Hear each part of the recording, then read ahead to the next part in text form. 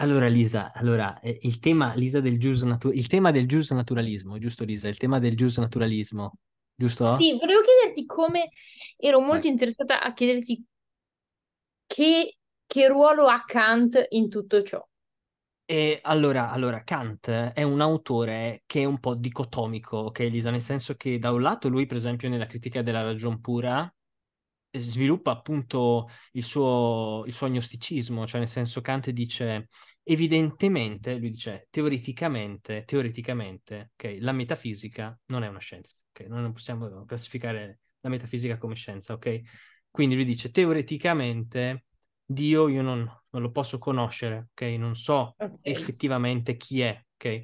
Questo semplicemente dice Kant, però poi dice, attenzione, nella critica, nella critica della ragion pratica, nella fondazione della metafisica dei costumi e nella metafisica dei costumi lui dice, la libertà, aspetta, dice, la Allora, aspetta, morale, prima, prima di tutto, ehm, per fare un po' di ordine, sì, in che ordine consigli di leggere Kant? Cioè, ok, quali sono le opere da allora, in ordine che tu ma consiglieresti? che consiglierei per capire il suo giusto naturalismo? Sì, che Cioè cons- diritto esatto. La sua critica proprio a questa cosa di Dio.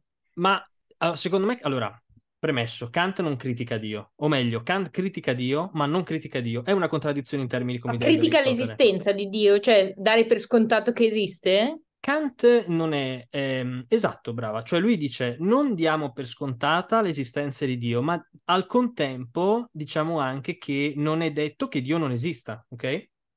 Ok, sì. È agnostico, ok? certo, certo. E al contempo Come non dice sappiamo che esista, non sappiamo nemmeno che non esista. Esatto. E poi dice attenzione, ehm, lui dice noi nella metafisica dei costumi e in- un po' anche nella fondazione della metafisica dei costumi, lui dice noi potremmo anche fare dei discorsi di stampo teoretico-argomentativo, cioè Kant dice noi abbiamo la formalità tale per cui noi abbiamo una qual certa logica. Il problema della logica è che evidentemente la logica riguarda il fattore terreno, ok? Cioè Mm. riguarda l'argomentazione, ok? Evidentemente quindi lui riprende Sant'Anselmo dicendo è vero che noi possiamo cercare di capire Dio attraverso l'argomentazione e in certo modo di dimostrarlo attraverso l'argomentazione. Il limite dell'argomentazione sta che noi esprimiamo questa argomentazione nel fenomeno, ok? Non nel noumeno, cioè Kant dice L'argomentazione in sé per sé ha poco senso significarla all'interno del noumeno, perché noi non siamo all'interno del noumeno. Mhm. Non lo possiamo conoscere il noumeno. Esattamente, per Kant, ehm, lui per molti versi si inserisce all'interno della tradizione giudaico-cristiana e del, nel De Civitate Dei di Agostino. Se tu prendi il De Civitate Dei di Agostino, Agostino dice c'è la città celeste e c'è la città terrena, ok? Fa questa, questo, questo rapporto, questa relazione. Ecco perché da questo punto di vista Kant, quando fonda la sua morale, dice attenzione, vi dice nella critica della ragione è, prati- è pura, dice noi non possiamo dire che la metafisica sia una scienza. Argomentativamente io posso stilare, posso esprimere una qual certa argomentazione che mi implichi anche l'esistenza di Dio, ma poi da un punto di vista prettamente pratico, io questa morale, o meglio, questa formalità non riesco a dimostrarla da un punto di vista morale. Quindi Kant dice la morale è veramente libera perché evidentemente l'uomo agisce in quanto dipendente dalla libertà. Perché Kant dice è evidente che la libertà l'uomo ce l'ha. Perché? Perché, faccio un esempio, Kant anticipa da un certo punto di vista gli studi anche sull'economia, cioè Kant dice il lato implicito dell'argomentazione, ovvero sia Kant dice argomentativamente, se piove, allora tiro fuori l'ombrello per non bagnarmi. Ok? Questo è imperativo ipotetico.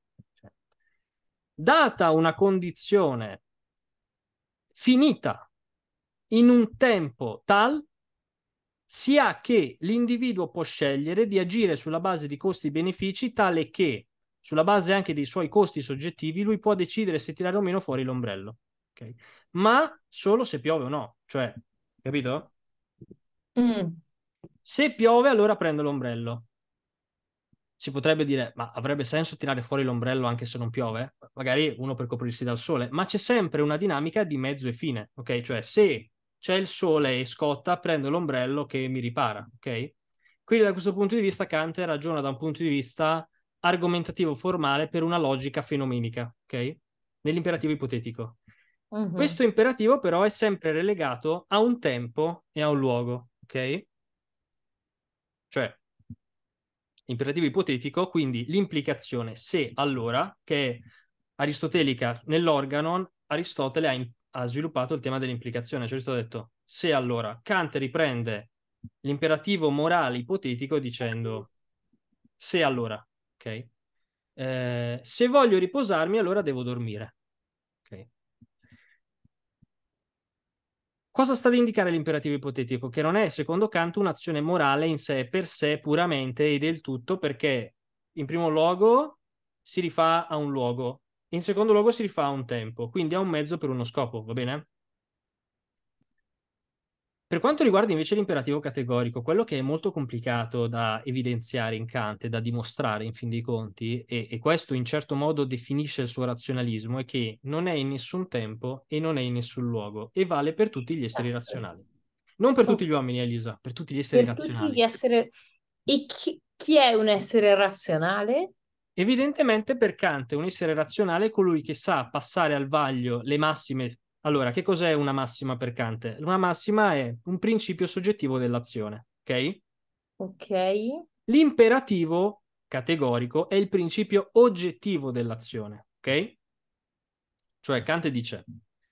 Cioè uno deve rendersi conto, deve avere un senso, deve avere un'idea di quali sono le conseguenze? In certo modo, esatto. Cioè Kant dice, evidentemente l'essere razionale è, col- è colui che in certo modo sa distinguere il bene dal male ovvero sia, eh, Kant dice, il ruolo di Dio, per quanto sia complicato da definire, non può non essere presente. Perché? Perché sebbene io dica che Dio non è una scienza, e per quanto nell'argomentazione io non possa esprimermi a favore della strutturazione di Dio a favore tantomeno della destrutturazione di Dio, tuttavia in chiave morale io non posso che accettare la morale anche in senso religioso per dare imperativamente ragione all'imperativo categorico. Perché se no non avrebbe senso argomentare l'imperativo categorico. Hai capito? Sì. Quindi Kant dice, questa un po' è la stranezza di Kant, cioè Kant cioè, dice... quindi questo diciamo alla fine sì. Sì, no, no, vai, vai, vai avanti, scusi. Kant dice, l'imperativo categorico esiste, ma è fuori dal tempo e dallo spazio. ma meglio, quindi è un, è un, sì, è una sorta di regola morale oggettiva che sì. le persone razionali riescono a capire. Per tutti, esatto. Anche gli alieni, eh, attenzione. Cioè, per Kant, se domani arrivassero degli alieni sulla Terra e fossero esseri razionali, cioè capissero effettivamente la modalità di approccio tale per cui esiste un passaggio dal massima, cioè principio soggettivo dell'azione, a imperativo categorico, cioè azione che diventa morale per tutti, per Kant, quest- costoro dovrebbero essere razionali. Sì. Ok. Ok, e, e questo come, cioè da qui quindi lui tira fuori il giusnaturalismo, cioè dice c'è questo imperativo categorico, le persone sono razionali, quindi le persone razionali riescono a scoprire questo imperativo categorico e alla fine l'imperativo categorico è quello che detta o ti fa scoprire in modo diciamo un po' locchiano quali sono le, le, i, i diritti naturali. Esatto, allora per Kant il libero arbitrio esiste, cioè per quanto Kant dica che la metafisica non è una scienza, lui dice, evidentemente però, ehm, senza imperativo categorico, senza libertà, noi non potremmo definire l'imperativo categorico, cioè le, la, la, il principio sogge- oggettivo dell'azione, ok? Per... Sì. Però Kant dice, formalmente, e ritorno a quello che dicevo prima, noi possiamo argomentare eh, l'imperativo categorico, però dimostrarlo sostanzialmente in tutti i termini è molto difficile perché, perché in primo luogo l'azione morale deve essere universale, deve andare bene per tutti, cioè per me, per te, per l'indiano che, ok? Cioè per tutti, anche se siamo di culture diverse. Sì, sì, sì. E poi è Dio, cioè se non esistesse Dio, l'imperativo categorico in certo modo, o meglio, se non esistesse il noumeno inteso come non conoscibile, l'imperativo categorico sarebbe smontabile per Kant. È un po' questa la contraddizione di Kant. Mm. Capito? Sì, cioè quello che, che non riesco a capire è se alla fine lui semplicemente sostituisca questo imperativo categorico a, a, a Dio, cioè Locke a Dio, lui sostituisce l'imperativo categorico. Ma in pratica, come dire, allora, Kant è, dice questo perché per molti versi, non solo teoreticamente, dato che stiamo parlando di approccio morale, ne parlo moralmente, perché teoreticamente avrebbe poco senso ora, ma Hume, cioè Hume ha detto che la morale è soggettiva, ok? Sì. Cioè Hume dice, se tu prendi ehm, eh, i principi della morale di Hume, lui dice la morale è soggettiva perché c'è sempre un rapporto tra, ehm, come dire, il tema eh, della, del senso autenticamente rapportabile al, alla virtù e al vizio individuale e poi, in certo modo, ok, a, eh, alla legge, ok? Quindi Hume dice, dice, che cos'è la via di mezzo? È la proprietà, ok? Quindi Hume dice, attraverso la proprietà noi possiamo capire ciò che deve fare o meno lo Stato. Ok? Mm-hmm. E quindi Hume dice, evidentemente, evidentemente, già che noi non possiamo dare troppa rilevanza alla fede, secondo Hume, se tu prendi la storia della religione di Hume, Hume dice, la religione si capisce che è più o meno umana, ok? Perché? Perché siamo passati da situazioni di stampo politeista a situazioni di stampo monoteista con vicissitudini tali che evidentemente l'uomo ha creduto più o meno sempre nella storia a entità soprannaturali, ok? Però la morale evidentemente è un qualcosa che poi sta nel soggetto perché deve decidere lui, ok?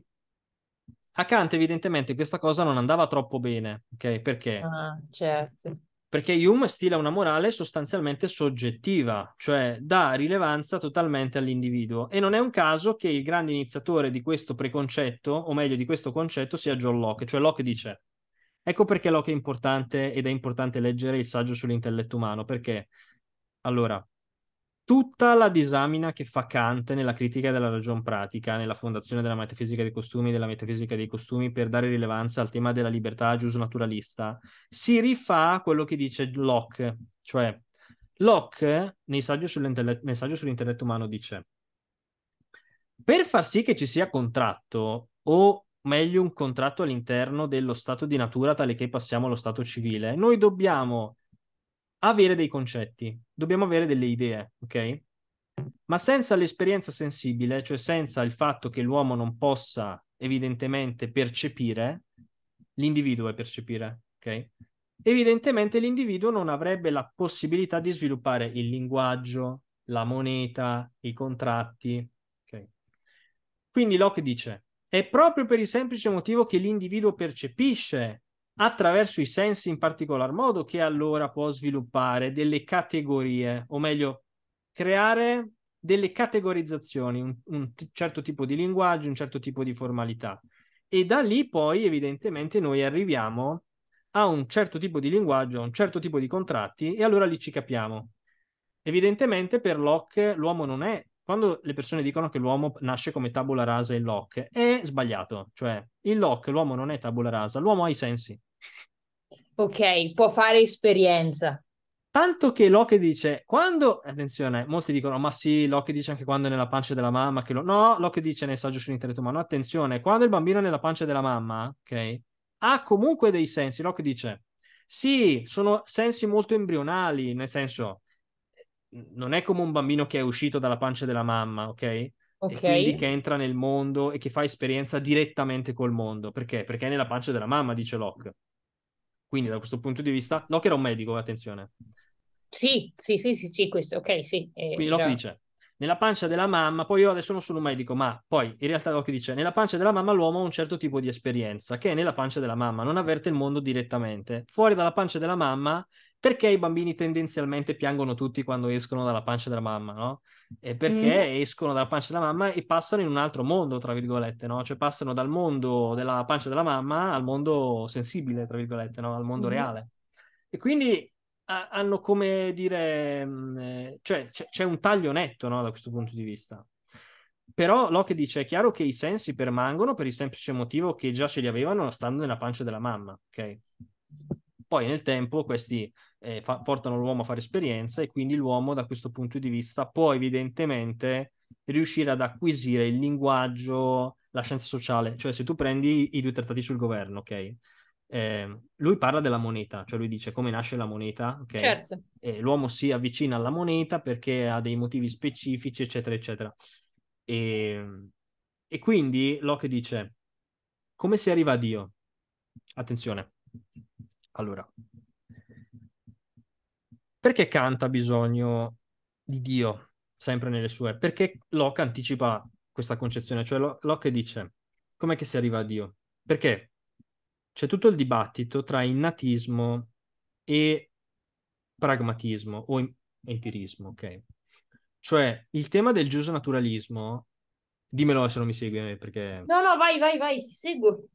Il tema del giusto naturalismo è un po' complicato perché? Perché anche Kant stesso si è dovuto trovare, come John Locke, a confrontarsi con gli innatisti, ok? Cartesio, ok?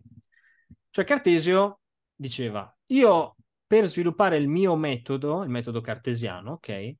Devo avere idee chiare e distinte. Attenzione, per Cartesio le idee chiare e distinte sono a livello innato, cioè qual è la prima idea chiara e distinta secondo Cartesio? È Dio, ok? Perché? Sì. Ah, qual è la premessa di Cartesio? Io ho bisogno di idee chiare e distinte per non avere confusione all'interno del mio metodo, che è fondamentalmente un metodo più che altro di stampo matematico, ok? Cartesio scarta le scienze sociali perché dice che non sono chiare e distinte. L'economia, la storia non sono chiare e distinte, devo scartarle perché sono fatte dagli uomini. Io ho bisogno della realtà e della sicurezza. Ok? La realtà e la sicurezza. Dio perché secondo Cartesio esiste?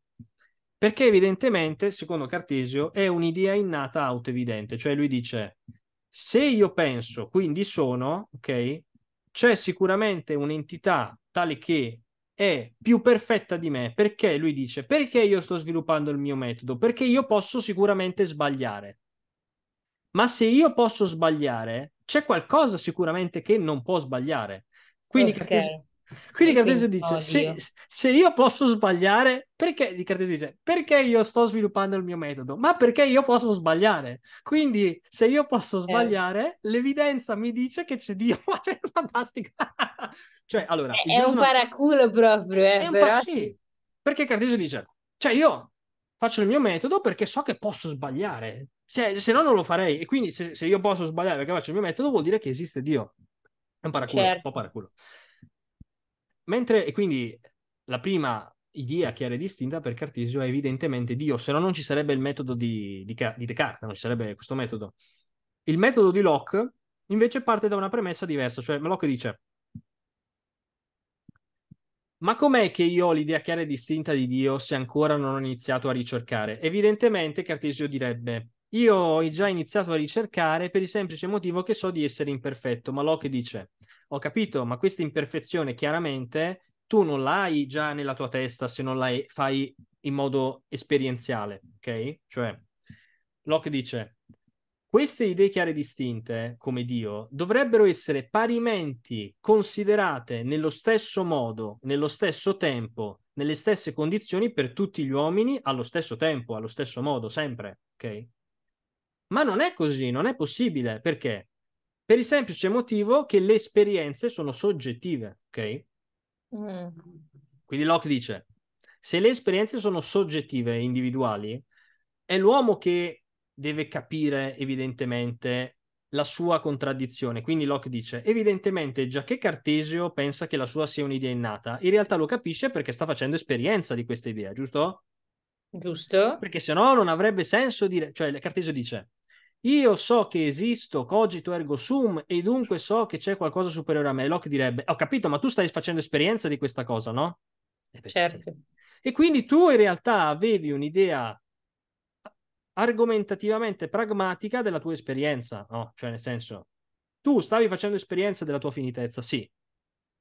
Quindi tu hai fatto percezione e quindi tu hai sviluppato attraverso la percezione questa idea chiara e distinta, giusto? Mm-hmm.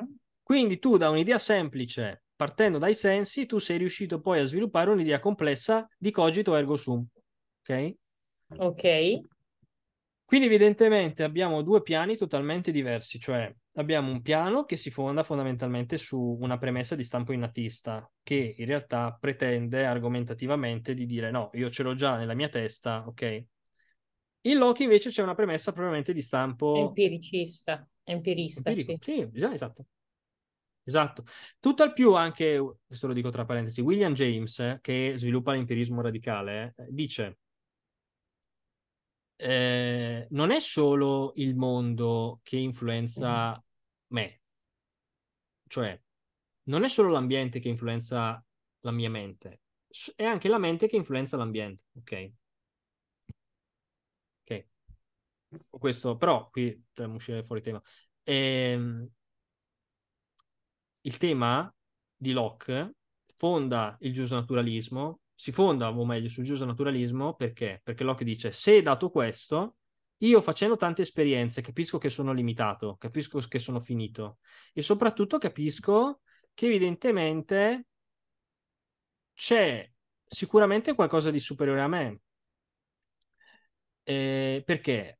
Perché il linguaggio è limitato ai termini e i termini non sono altro che, confo- che sono eh, strutture umane di, di trasmissione di, di, comunicazione, ok? Mm-hmm. Quindi da questo punto di vista si capisce evidentemente che sulla base delle esperienze soggettive gli uomini hanno sviluppato linguaggi diversi per capirsi, ok? Ok. Quindi il linguaggio è strumentale anche alla cultura da questo punto di vista, all'ambiente, alla cultura. Ok, ok, ok. E, ehm, quindi il giusto naturalismo di Locke fonda il diritto perché? Perché se io faccio esperienza e, e quindi faccio esperienza della mia finitezza, è evidente dunque che il mio patto, il mio contratto che faccio grazie all'esperienza perché io capisco te e tu capisci me, non è nient'altro che una derivazione dell'entità onnipotente, cioè Dio che dà questa okay. garanzia. Quindi Locke si rifà alla, alla tradizione giudaico-cristiana. Cioè, il mm. lock vale il patto, ma prima di tutto vale Dio. Mm. Cioè, se non ci fosse Dio, eh, avrebbe poco, poco senso. Poco...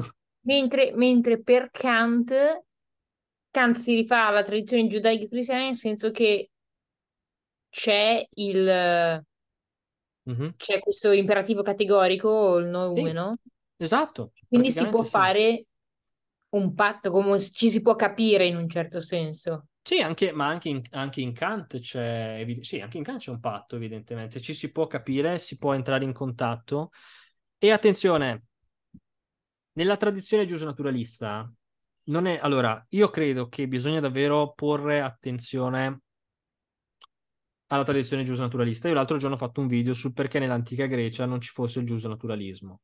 In realtà il mio video è parzialmente vero, secondo me, non è totalmente vero. Perché? Perché vuoi che sia così o vuoi che non sia così, l'innatismo è tradizionalmente di Platone, ok? Mm. Così come il realismo è di Aristotele, cioè qui bisogna mm. davvero, secondo me, stare attenti, nel senso che si dice che il giusto naturalismo è nato nell'età moderna, età dello Stato, ma se noi facciamo la resa dei conti, noi ci accorgiamo che sebbene sia vero che il giusto naturalismo è propriamente dell'età moderna, che inizia in realtà già col Medioevo, in senso più preconcettualizzato, ok?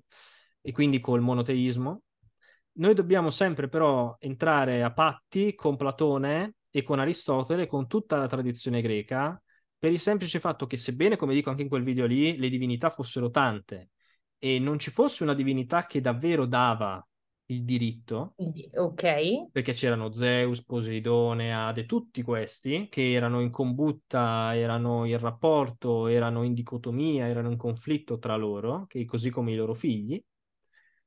Al contempo noi dobbiamo entrare a patti con la tradizione di... E tra l'altro, tra parentesi, erano sempre però in relazione anche al filo della vita delle parchi determinati, così come gli Mhm. uomini, Sì, eccetera. sì, sì, è un casino, sì. Noi dobbiamo pure entrare a patti con Platone, perché? Perché Platone utilizza tuttavia il rapporto delle idee che scendono nel mondo sensibile, quindi è come se desse giurisdizione alla metafisica sulla pragmatica.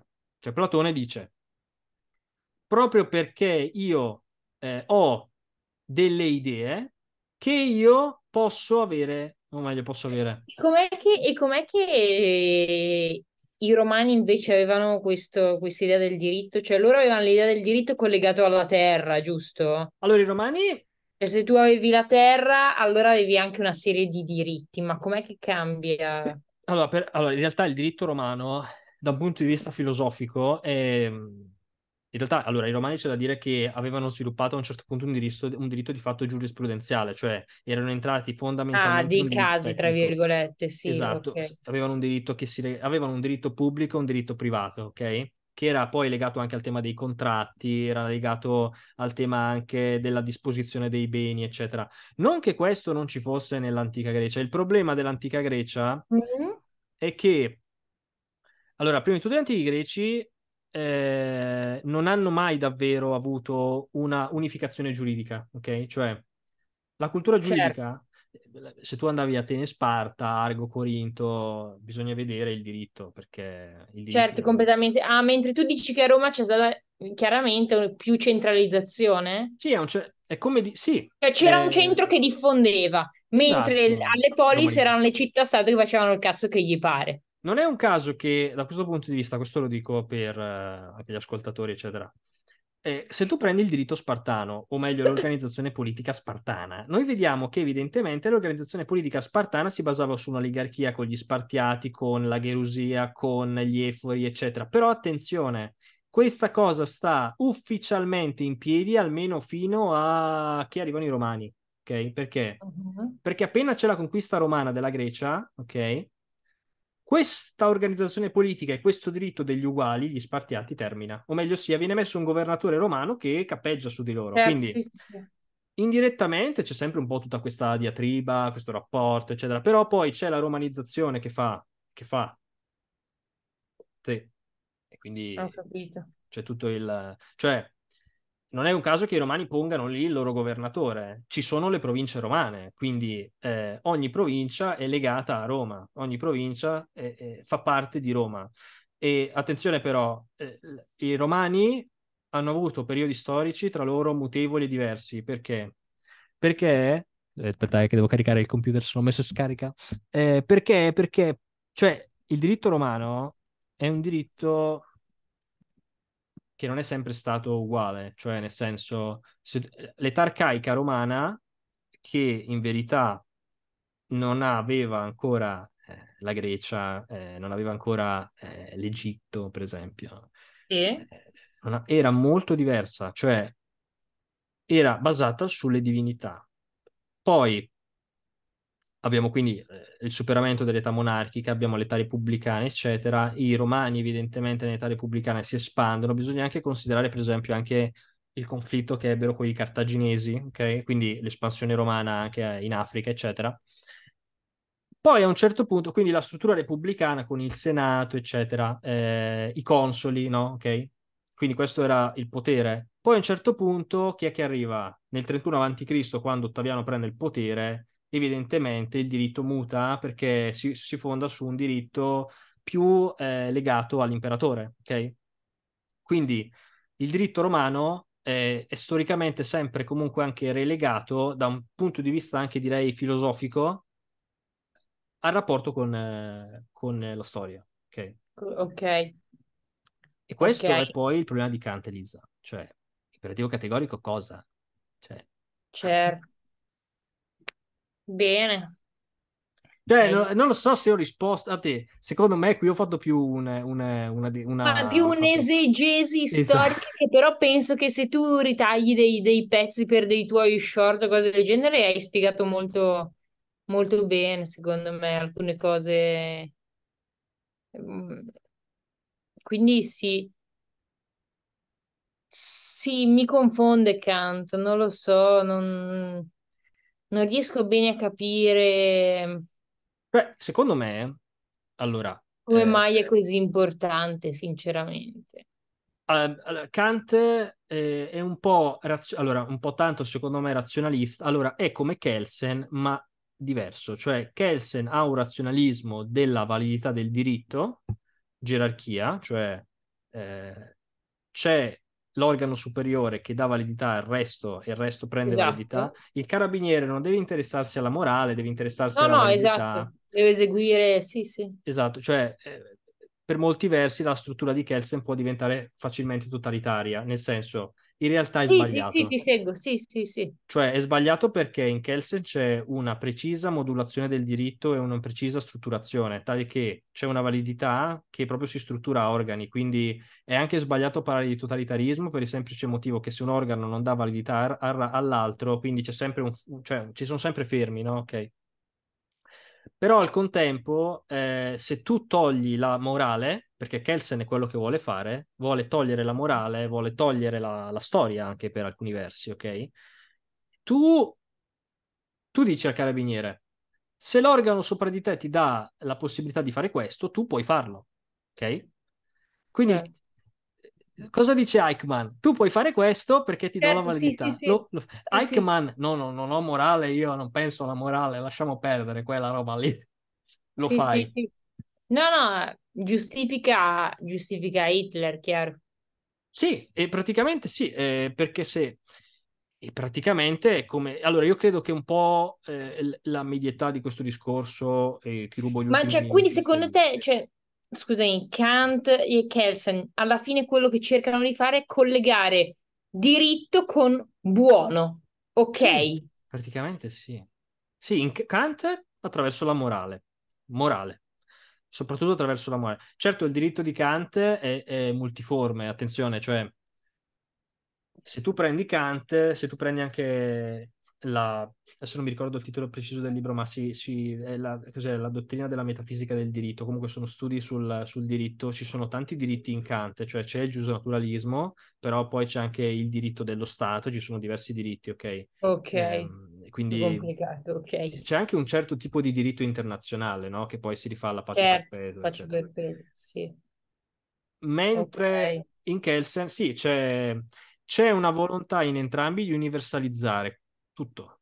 Cioè tutto partendo da uno con la... mo- ah, Il problema poi di Kant è sempre quello però, che la premessa è che è l'individuo, ok? Cioè Kant dice, ok, che è imperativo categorico per tutti, ma è l'individuo che se lo deve chiedere, quindi c'è libertà individuale, ok?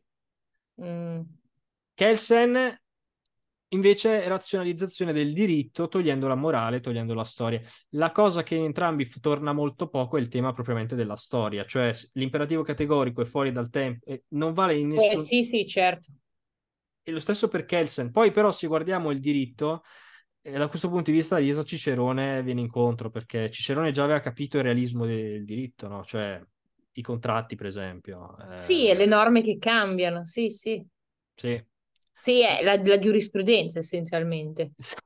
Sì, sì, sì, sì. Anche il tema penso perché Hayek lo citi tanto. Esatto, esatto, anche il tema del rapporto tra legge di fatto e legge, e legge pratica, cioè una legge funziona quando è seguita. Può essere una legge di fatto, ma può non essere seguita e quindi Sì, sì, esatto, e quindi non diventa, sì, sì, non entra, adesso non mi ricordo come si dice, però se- Esatto, sì, se una legge sta lì, viene fatta, ma nessuno la rispetta, non è una legge in un certo senso. ma è la stessa pa- paura di Cicerone, cioè perché Cicerone ha paura di Cesare, Elisa? Perché? E qui ci si rifà un po' alla critica a Kant. Perché Cicerone ha paura di Cesare? Perché? Perché ha paura che il diritto, o meglio, la pretesa, attenzione, Bruno Leoni, Bruno Leoni dice, la pretesa è quando c'è un'alta probabilità che un'azione venga fatta, ok? Sì, Cicerone ha paura che ci sia un'alta pretesa poi di Giulio Cesare di essere consentito come dittatore, certo, ok. ristrutturando un po' il Bestione di Leone ovviamente, perché poi... E Sì, quindi, questa cazzo deve starci anche per un video singolo. Eh, quindi, lui ha paura che la Repubblica venga destrutturata da un punto di vista dei costumi e realismo giuridico, ok, il tema del contratto, il tema del rapporto, ha paura che ci sia un uomo che prenda il potere dopo la, la, la campagna in Gallia perché aveva il controllo dell'esercito. Cicerone aveva paura ci... Allora, Giulio Cesare aveva il controllo pratico dell'esercito. Cicerone non era un idealista, no, che andava lì, no, no, no, no, Cicerone era molto pratico. Cicerone dice, Cesare è riuscito ad avere il consenso dell'esercito, Cesare ha il controllo di gran parte dell'esercito, Cesare ha una grande armata, Cesare è molto potente, Cesare può cambiare il diritto, certo che lo può cambiare, anche come implicitamente può entrare in Roma, può modificare il diritto, può destrutturare la Repubblica, può abbatterla, certo che può, perché ha le forze per farlo, ha il potere, ha la pretesa. Questo vuol dire evidentemente che Cicerone non pa- aveva paura come Hegel dello spirito, non è, non è vero che Hegel aveva paura dello spirito, ma Hegel, Hegel è molto più t- trascendentale. No, Cicerone è pratico, dice, proprio perché io bas- mi baso su queste premesse, che allora so che la pretesa di Cesare è importante e bisogna stare attenti. E attenzione, Pompeo non ha la forza di Cesare, non ce l'ha, o meglio, Pompeo può battere Cesare, ma deve svegliarsi, deve muoversi. E quindi da questo punto di vista, eh, in Cicerone c'è anche proprio il tema anche di un certo tipo di movimento dell'azione, cioè eh, in Cicerone, quando anche lì parla del, del, diritto, c'è il tema del dovere del buon romano, cioè il buon romano cosa che deve fare? Deve stare legato a Roma, che cos'è Roma, eccetera, eccetera. E quindi, e quindi Cicerone è realista, cioè Cicerone si rende conto che a un certo punto le cose possono decollare o collassare sulla base degli avvenimenti che stanno lì, ma è evidente che bisogna vedere chi ha potere, cioè eh, bisogna vedere chi ha potere, sì vede, eh, Giulio Cesare a potere. Ma infatti, se tu prendi anche la storia, no? cioè, Marcantonio credeva di diventare il successore di Cesare, mentre in realtà si è visto rapportato a un ragazzo che si chiamava Ottaviano Augusto. Pensava che fosse stupido il ragazzino, ma il ragazzino non era stupido, cioè evidentemente Ottaviano non era un generale, non sapeva comandare un esercito, ma era abbastanza intelligente da utilizzare Agrippa per poi sconfiggerlo. Quindi evident- Agrippa era un generale, il suo generale. Quindi evidentemente e evidentemente Marco Antonio era così stupido da affidarsi a Cleopatra e innamorarsi di lei per perdere tutto. Ok, quindi da questo punto di vista ci sono sempre dei rapporti tra, secondo me, per criticare un po' Kant, costumi, storia e relazioni umane. Sì, cosa ne pensi? Ha senso. Ha senso? non lo so, puoi criticarmi e magari sto sbagliando tutto, probabilmente, cioè sicuramente... No, no, no, non, mm, non lo so, non, non ne ho la minima idea, però ha, ha senso.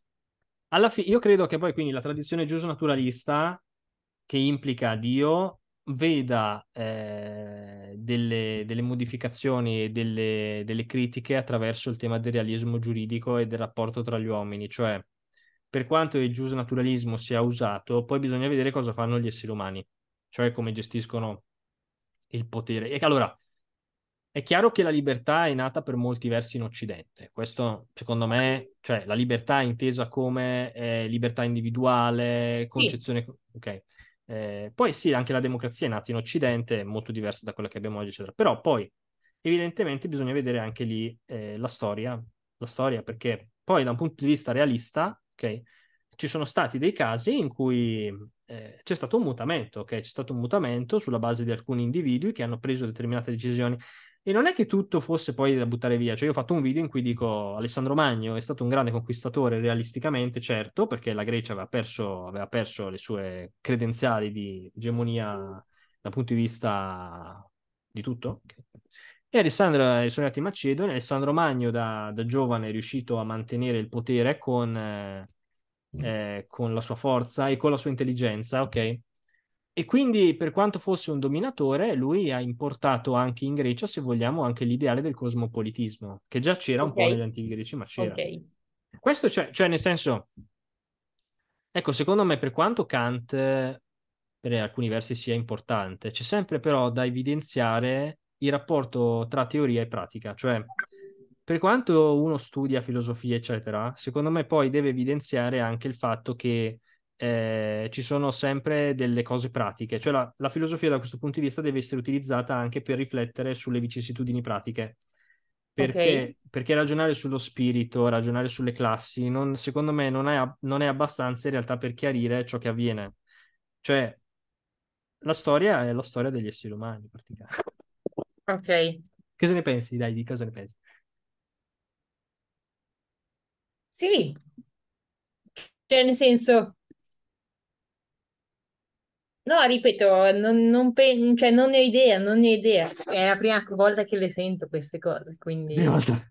Ma ci sta. No, beh, però nel senso, Kant, Kant- chi, chi è per me Kant, ok? Cioè, Eh, Kant, mm, Kant, boh, è nel senso...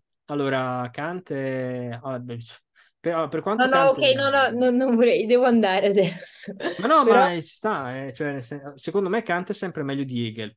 Sì. sì, non lo so, questi filosofi continentali un po'. È continentale, è un filosofo eh, continentale. Hegel. Sì, sì. Oh, Non lo so, rimangono sempre le figure abbastanza misteri- oscure, diciamo, Sì, me. però, cioè, nel senso, secondo me, io tipo, cioè, ehm, questo discorso che ho fatto un po' anche, cioè, bisogna secondo me entrarci ancora di più in questi, mm, perché non secondo me non si capiscono mai abbastanza, cioè, bisogna proprio entrarci ancora meglio, nel senso che, cioè, non so, bisogna entrarci perché eh, sono tipi di, di movimenti e di tradizioni. di- È ovvio che comunque, cioè, un conto è il pensiero di un filosofo, un conto è anche la storia, ok? Certo. Cioè, per molti versi noi siamo un po' la conseguenza della guerra del Peloponneso perché, perché la tradizione che noi leggiamo è quella platonico-aristotelica che si fonda sulle basi della guerra del Peloponneso. Noi in realtà siamo legati anche alla tradizione romana che ha, fo- ha solide basi in Cicerone, quindi noi siamo legati, vuoi o non vuoi, anche a Eh, e questi qua invece, questi continentali, a me sembra che vogliano fare un po' tipo a, a pezzi tutta questa cosa qua, perché loro hanno la loro idea che d'accordo. Sì, è vero, è in parte sì. razionalista e in un certo senso i problemi sono difficili, però cerchiamo di risolverli nel modo più semplice, quindi costruendo, diciamo, una nuova etica o comunque dando dei punti di riferimento. Però è tutto molto razionalista, costruttivista, no? Non lo Ma so. ecco perché Lisa il termine liberalismo ha poco significato, cioè mi spiego, io mi definisco liberale, ma- magari sì, però, cioè, mi spiego, cioè, sì, ci sta a definirsi liberale, però ha poco significato perché il termine liberalismo, a mio parere, si rifà a una tradizione che vuole concettualizzare le cose, però poi bisogna vedere caso per caso, cioè bisogna vedere un attimo cosa sta succedendo e evidenziare, cioè Però quello non, non- non non è il pragmatismo, è pra- il, pra- il pragmatismo, cioè i pragmatici sono quelli che vedono caso per caso, no? Secon- allora, secondo me non bisogna generalizzare, ok? Cioè, nel senso, per quanto sia complicato non, ge- eh, non generalizzare, bisogna sempre cercare di non generalizzare, eh, perché, mh, perché per alcuni versi, se ci pensi, secondo me, eh, Kant e Kelsen, per esempio, generalizzano. ok? Certo, sì, Cioè, sì, secondo me la tradizione che generalizza è più la tradizione razionalista che quella pragmatica. certo. Cioè, secondo me... Riapriamo una pro- prossima volta questa, questa, questa parentesi, che devo proprio andare. ok. Però non lo so, cioè sì, sono d'accordo, però secondo me la tradizione, molto velocemente, cioè secondo me la tradizione pragmatica è anche lei molto razionalista. Per alcuni sì, poi per alcuni versi sì, cioè a parte che sì, può Cioè essere non so se se ne parte. esca bene, cioè se se ne, se- se ne esca da questo ragionamento. Perché Oh, la tradizione pragmatica ti dice ah, caso per caso, ma razionalmente. Poi siamo d'accordo che non cerca di stabilire verità universali. questo sì, esatto. Sì, parte da alcune, sì, ha, ha certe basi di stampo razionale, questo sì. Ha certe basi di stampo razionale. Eh, è, chi- è così, tr- cioè, perché dico caso, cioè se tu prendi ad esempio le scienze, la loro specializzazione, nel senso, ehm, ci dicono, le scienze diverse ci dicono che non è necessariamente vero che i filosofi che hanno, avessero ragione, cioè il lato pragmatico ci ha poi dimostrato anche con le rivoluzioni industriali, eccetera, che evidentemente la specializzazione scientifica può aiutare di molto e anzi la filosofia da questo punto di vista ne ha bisogno, così come anche lo studio dell'economia, eccetera, eh, della specializzazione nei settori specifici, perché poi bisogna vedere il tecnico, a mio parere, che naturalmente ci deve essere dibattito, che ti dice poi cosa funziona e cosa no. Nel senso, ehm, bisogna cercare sempre di evidenziare un rapporto di causa ed effetto, cioè evidentemente vedere eh, quali sono le cause che hanno portato alla caduta del, faccio un esempio, che hanno portato alla caduta dell'impero romano, economiche, giuridiche, sociali, eccetera. Cioè, quello che voglio dire è che evidentemente c'è sempre un lato multiforme, no? Multiforme, ok? Ok. Multiforme. E quindi, evidentemente, eh, cioè,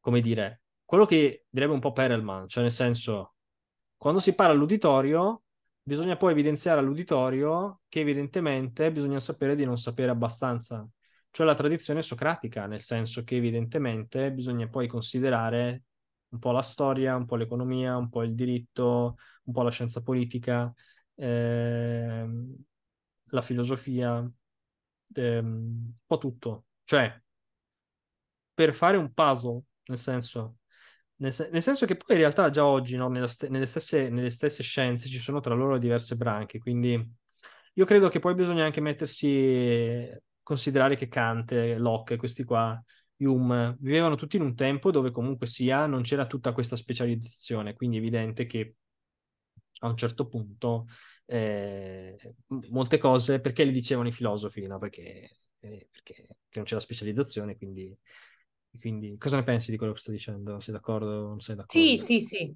Cioè, nel senso che ha un, un- tutto un certo tipo di sofisticatezza non, non ci si poteva arrivare, perché semplicemente se uno faceva il filosofo non faceva il filosofo della micro, micro, micro, micro cosa, Ma cioè non c'era esatto. divisione del Ma lavoro, infatti, quindi quelli, quelli che dicono no, cioè, nel senso, quelli che dicono no, ma perché i filosofi? No, no, i filosofi, cioè, perché Aristotele si poteva permettere di fare l'economista, di fare il polit- cioè, la, la filosofia politica, di fare, di fare il biologo?